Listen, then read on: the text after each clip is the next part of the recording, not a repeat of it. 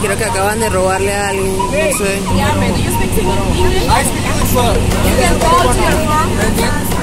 So call.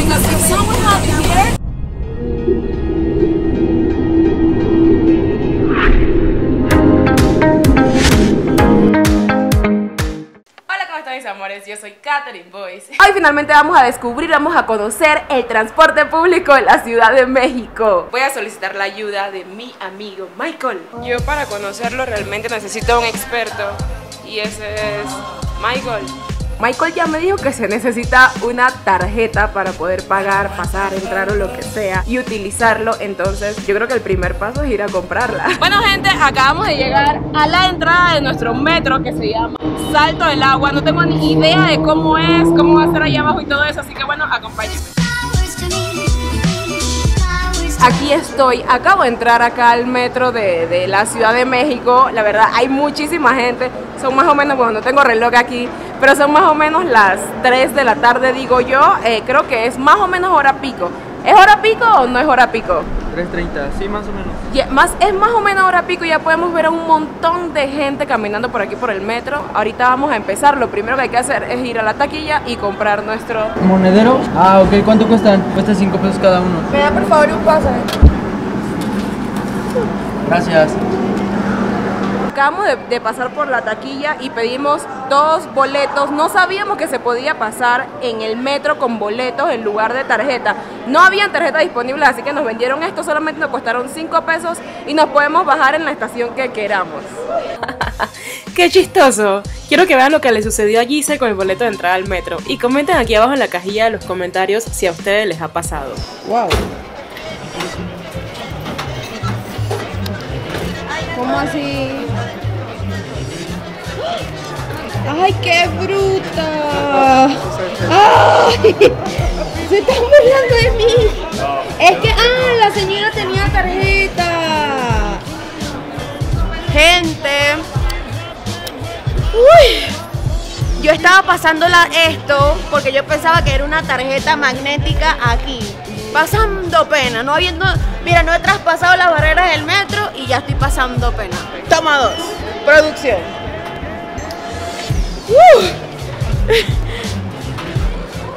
¿Ya no sale más? ¿Ya no sale el otro ticket?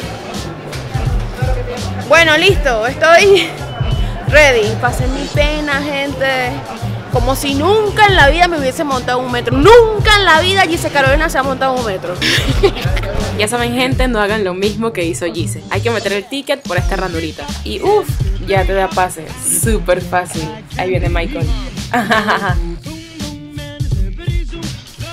Y lo primero que te encuentras cuando bajas aquí al metro, pues son estas tiendecitas que la verdad me encanta porque puedes pasar a buscar el pan antes de ir a la casa e irte listo.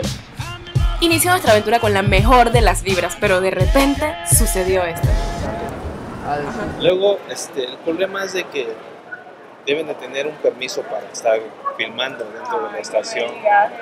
Sí, deben de tener un oficio. Sí, es que cualquier tipo de filmación o, o evento que se genera aquí adentro se debe tomar con conocimiento, más que nada de allá arriba. Entonces a veces nos preguntan qué, es la, qué está pasando o qué situación está viviendo, o qué está sucediendo, ¿no? Porque luego ellos no saben. Claro.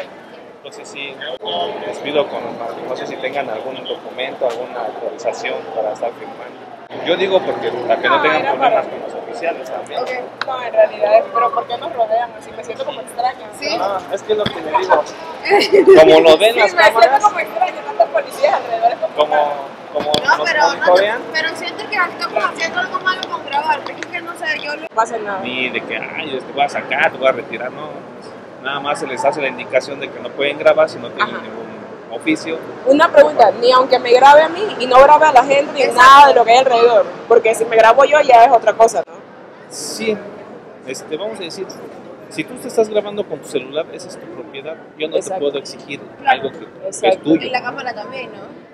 Sí, pero cuando son ya como tipos profesionales, es Ah, cuando se perfecto. empiezan a detectar. de Ah, no, no pasa nada. Entonces cambiamos de cámara y listo. Ya, ya. Ya entiendo. Voy a, No voy a hay problema. agüita. Sí. Vale, gracias. Gracias. No hay problema, gracias. ¿Quieres? Medio litro, litro y medio, como esta. Gente, nos acaban de decir que bueno que es prohibido como que utilizar equipo profesional para grabar acá abajo en el metro, así que bueno, yo acabo de sacar mi mini GoPro para que no le moleste a nadie y poder seguir narrando, conociendo el metro de la Ciudad de México y obviamente trayéndolo a ustedes. Me encantan estas señalizaciones amarillas porque fácilmente te indican por qué lado debes caminar según tu dirección. Se supone que nosotros vamos hacia Bellas Artes. Aquí dice observatorio. No tengo ni idea si este nos va a llevar a Bellas Artes, pero bueno, vamos a seguir dándole. para allá. Ah, Perdón, ¿hacia dónde es? ¿En serio? Tienes que, que bajar Ajá. allí y agarras para como si fueras arriba. O sea que y estamos ellos- bien mal. tenemos Estamos al revés. Exactamente, mi niña. Ay, qué lindo. mi vida. Sí, Gracias. mis niños. Gracias. Amén. Hasta luego. ¿Hacia dónde ibas tú, Gise? Yo estaba haciendo las señales de no se. Solamente nos toca esperar a que llegue nuestro metro del lado de allá y a montarnos.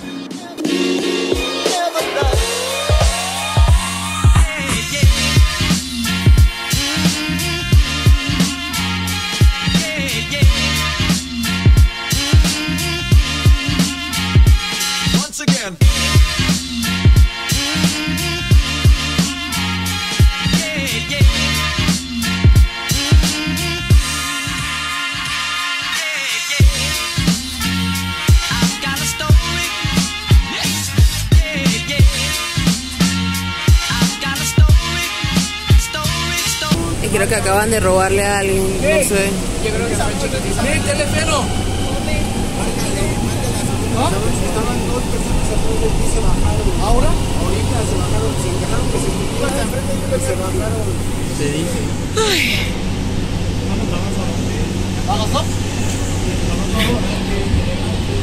Que llame al teléfono. Que llame. Do you speak English? I speak English, but You can call to your phone. and then Oh, So. Because if someone have it here, it has to ring, right? So, Lamentablemente a esta persona le robaron el celular mientras estaba en el metro. Yo intenté ayudar y otras personas mexicanas que también estaban en el lugar intentaron ayudar. Sin embargo, gente, yo quiero decirles que esto no representa al mexicano. El mexicano es súper honesto, amable, cariñoso y siempre que pueda te va a ayudar. Sin embargo, pues esta es una situación que puede ocurrir en cualquier país del mundo. otro lugar donde te puedas meter al metro y yo no lo Pero, por ejemplo, si estamos en la verde, ¿estamos en la verde o en la verde? Estamos en, en la intersección. En este momento estamos aquí, justo en esta estación. Entonces vamos a transbordar otra línea para poder llegar a exactamente este punto que está aquí. Bueno, gente, la idea de utilizar el metro de la Ciudad de México era obviamente poder conocerlo por debajo, por dentro, a ver cómo era más o menos. Pero bueno, ya tuvimos un poquito de la experiencia porque nuestro tramo fue un poco corto.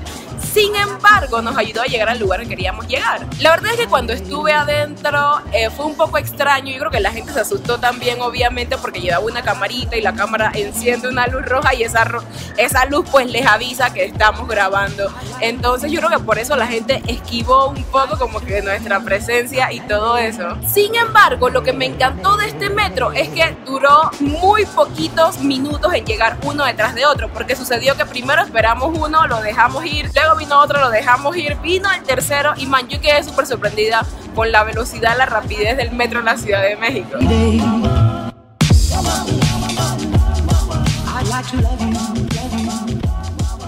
Que también me gustó muchísimo este metro es que encuentras fuentes de agua. O sea, tú puedes tomar agua si te da sed completamente gratis, vas a una fuente y puedes beber agua potable. En el metro de nuestro país es bastante nuevo, la verdad, pero no existe esta metodología. Otra cosita que hay en el metro de la Ciudad de México que no hay en el metro de mi país es las tiendas debajo en, el- en los pasillos, las tiendas que te encuentras en la parte de abajo. Eso para mí es algo muy extraño, nosotros no lo tenemos allá en Panamá, pero bueno, está súper cool que antes de ir a casa o llegar a tu destino pues puedas pasar por alguna tienda y comprar lo que necesitas.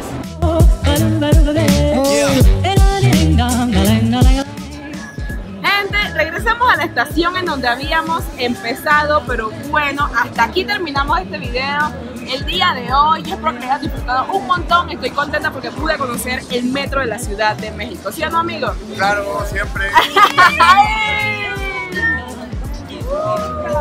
Bueno gente, yo sé que no salí del metro con este t-shirt, pero bueno, me cambié para hacerme algunas fotos súper chidas acá en la Ciudad de México.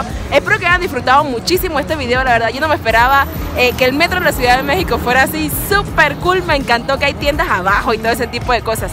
Yo soy Catherine Boyce, si les gustó este video por favor compártanlo, suscríbanse al canal si aún no lo han hecho, denle me gusta y denle click a la campanita para que YouTube les avise cada vez que subo un nuevo video. Los amo demasiado y bye.